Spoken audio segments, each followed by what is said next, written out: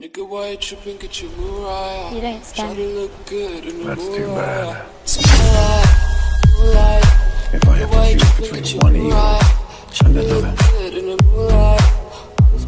then I prefer not to choose at all. If I have to choose between one evil and another.